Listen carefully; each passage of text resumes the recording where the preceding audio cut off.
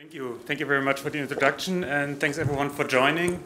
Um, so today I'm going to give you a little overview about machine learning in drug discovery. Um, while doing the slides, I noticed this is a very large topic, so today it's just early drug discovery. Um, so first of all, who of you has a life science background? Okay, for calibration, who of you has a machine learning background? Okay.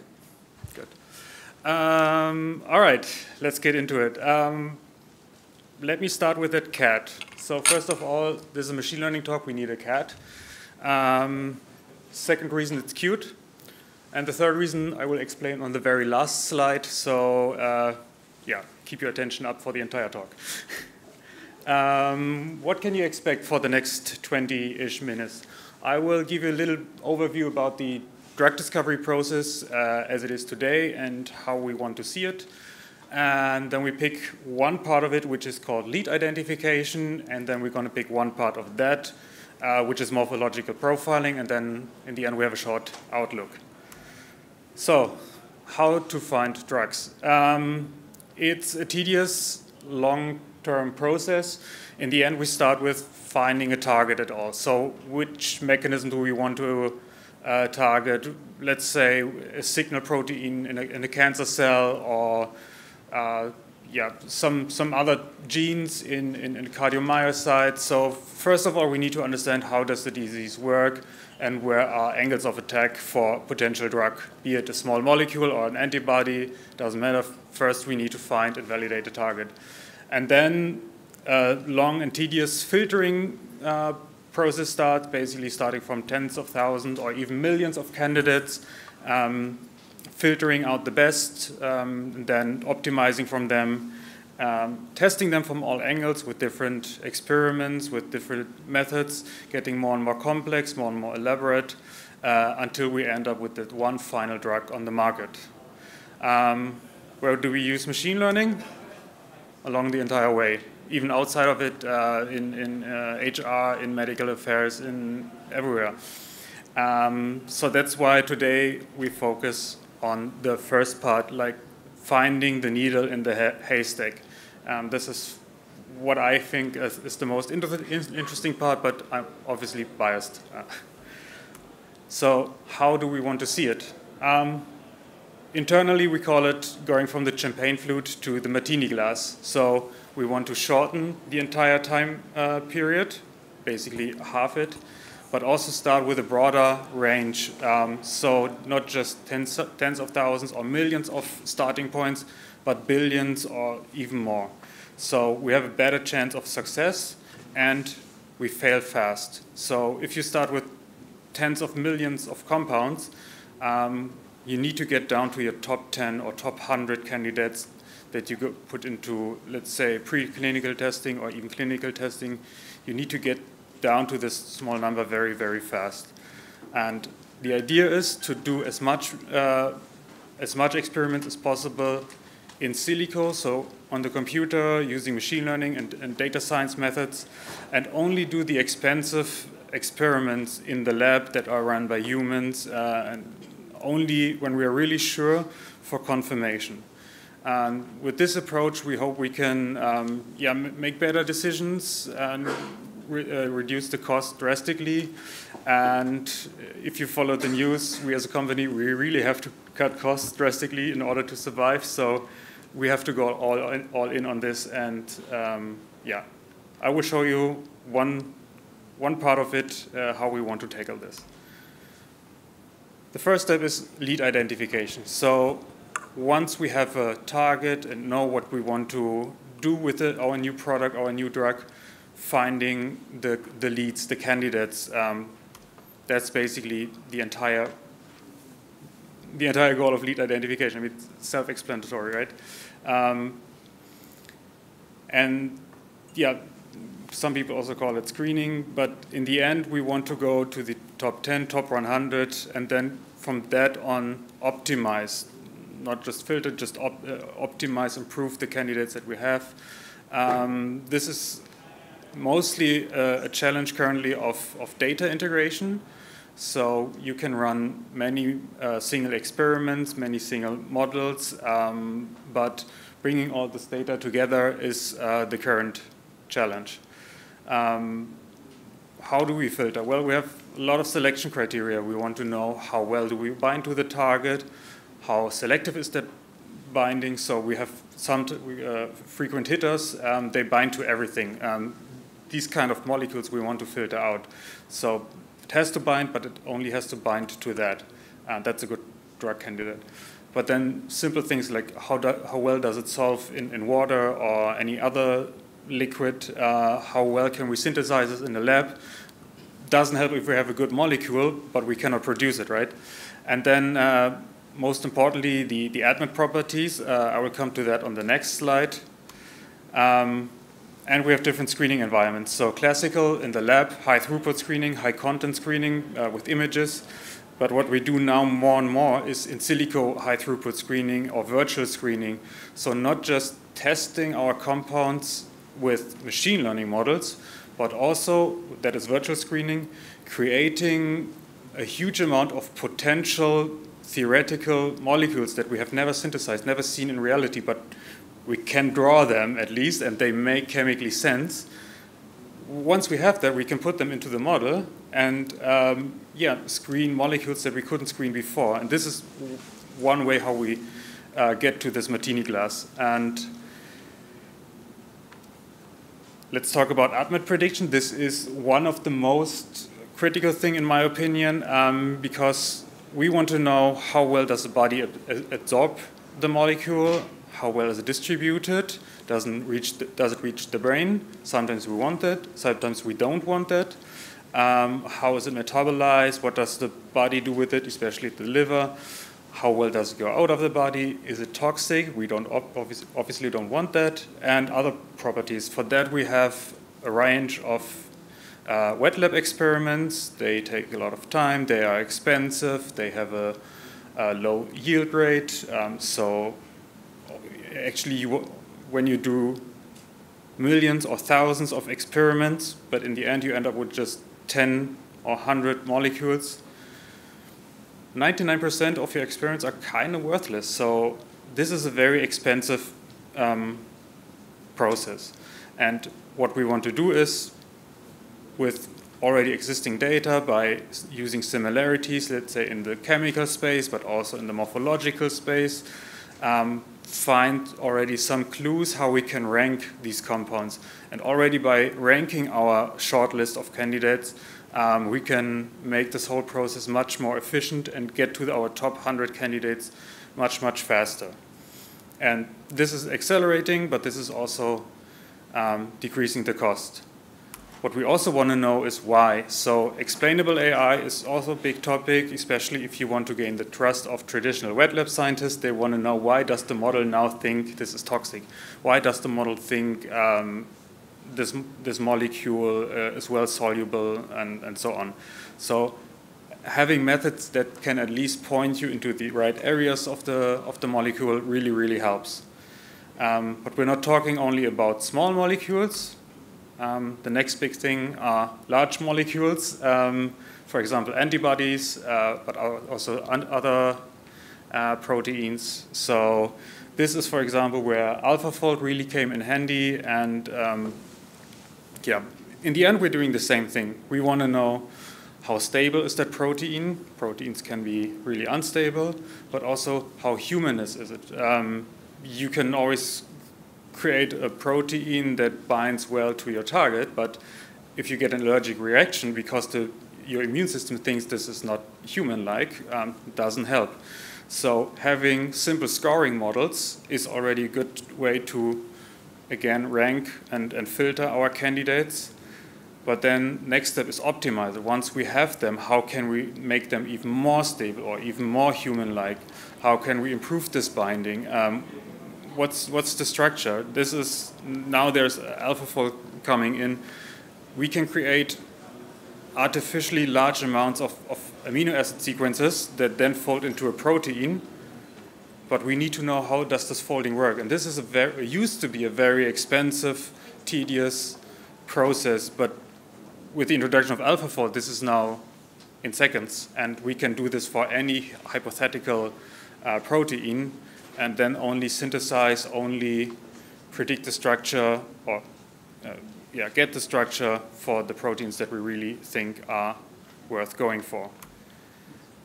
And our ultimate goal is de novo design. So without any prior knowledge, just the target structure, what is the best antibody that fits to it and is also very human-like from the beginning.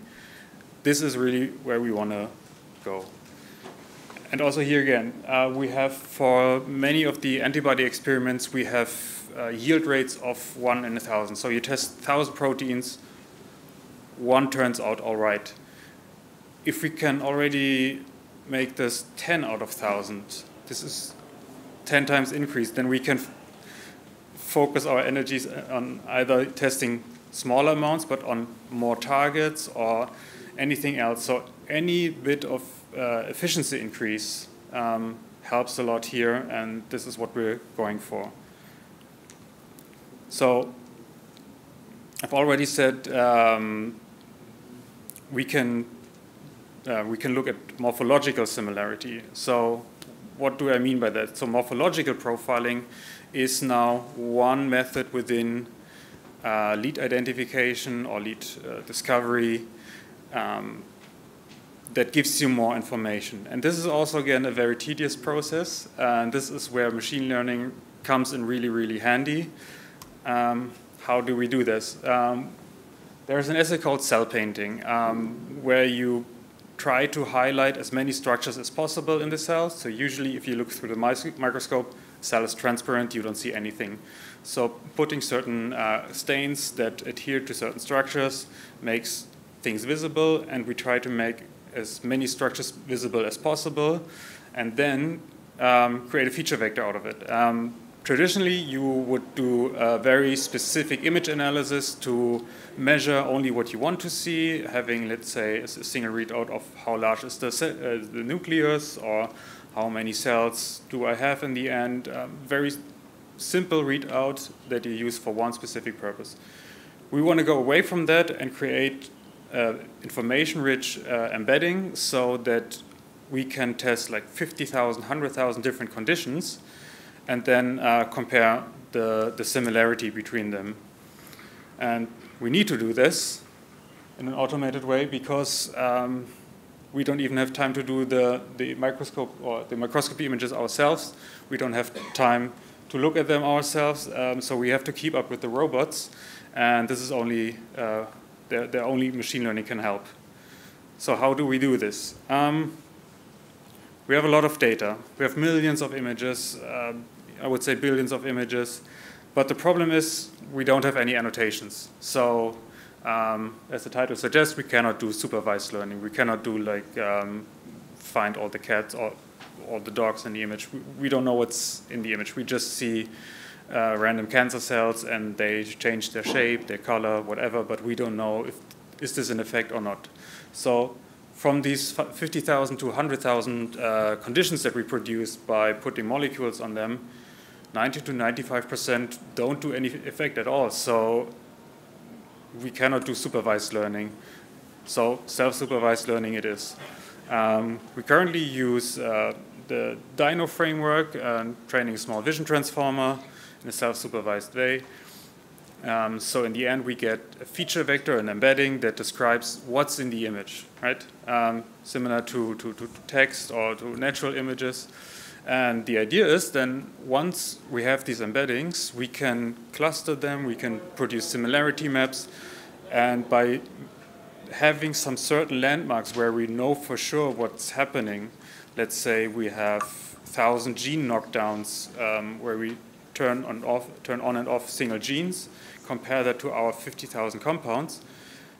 But once we see compounds clustering around one gene knockout, we know, oh, okay, these compounds, they have to do something with that signaling pathway. So this is how we can, in a explorative, uh, explorative way, get knowledge um, without relying on any annotations except our few landmarks. And the cool thing about it, because these embeddings are so versatile, so universal and not purpose or, or, or target driven, they're just capturing the information of the image, we can keep them in a database and reuse them all the time. So with every experiment, our uh, vector database is growing and growing and growing. We get more and more reference points, more and more landmarks. Um, so you actually get a nonlinear value, right? Because every experiment benefits from the previous one. So it's, it's a really cool thing. I really like it. Uh, and how does it looks like, um, so here we see a UMAP of, uh, I don't know, I, I think 1,000 genes turned randomly on and off. And what we see is that certain gene families uh, cluster together. So remember, we didn't put any information about biology or labels into the model. We just gave it the images, forced it to abstract the information in it, and using a simple UMAP, we can identify some clusters. You can also see there's a huge cluster that does nothing. Um, but uh, coloring afterwards with the information that we have, we see, okay, it's, it's learning something biological relevant. Now we can put in our compounds that we don't know anything about. And when I want to say, let's say I want to find a KRAS inhibitor, I just see, uh, okay, which compounds cluster around my light blue cluster. And then I have my leads. And thing is, it's a very tedious uh, analysis process. Um, it wasn't machine learning driven before. We used Cell Profiler that was state of the art in the industry. And um, that's a very traditional brute force feature extraction method. Um, and we didn't have any streamlined processes for it. We handled CSV tables. Data exploration was done in Jupyter notebooks. And we're a big German company. We exchange data via SharePoint. Um, you see, this is not sustainable. So what we're doing right now is streamlining this entire workflow. Um, really, the scientists, they can do their experiments on the, on the microscope. They can go to the computer, import the data directly, get a coffee, or have lunch, to be realistic, and then see already their scatter plot in the browser. And already that helps a lot ironing out all the errors. But by replacing Cell Profiler with a machine learning model, um, the self-supervised uh, model, we can even accelerate this, uh, uh, this, this process by factor 50 and decrease the cost by factor 50. So instead of one week waiting for the images to be processed, it's just a few hours. So this is really, really helpful. And what we do then we put it in a nice dashboard uh, where you can trigger the data, browse the data, explore it, um, do anything you want. Um, you can clearly see now the big cluster of negatives, then smaller cluster that do something. Most of them are artifacts to be realistic, but some of them actually have a meaning. Um, I cannot show you the meaning, of, obviously. Um, and soon you can also pick some models. So currently we just have one model, but you can pick different generations of models from weights and biases, of course. And then uh, we compute this with different embeddings. And of course, we're machine learners, we need a dark mode. Um, so let me wrap up things, uh, things up with the little outlook. This is a very opinionated, uh, subjective outlook into the future. Um, how do we get more and more to this martini glass? So first of all, Gen AI, right? Um, it was said in a, in a keynote before, just by making the, the office uh, workflows more efficient, uh, creating outlines for, for, for talks, summarizing meetings, I'm really looking forward to that. Um, helping with coding Copilot, real, real help. Um, yeah, this is helping us immediately, right? Um, since we're in London, are people from Isomorphic Labs here? No. Anyway, AlphaFold 3. While I was preparing the slides, they released AlphaFold 3. This is a huge breakthrough. This will have a huge impact on decreasing the cycle times again, giving us more accurate uh, structures. Um, then we also need our own foundation models, not just for languages, but for medical images. Uh, there's a medical segment anything, but also large language models for DNA, for antibodies, for RNA. That's what we need. And then the next big thing, everyone talks about it, digital twins, right? We need a virtual representation of the patients that we want to treat. but we also need virtual representations of animals because currently we have to do animal testing. Animal testing sucks, and having like a digital twin could reduce this dramatically. And then my goal is that in a few years we don't do any animal testing anymore, and the only way we use animals is in PowerPoint slides.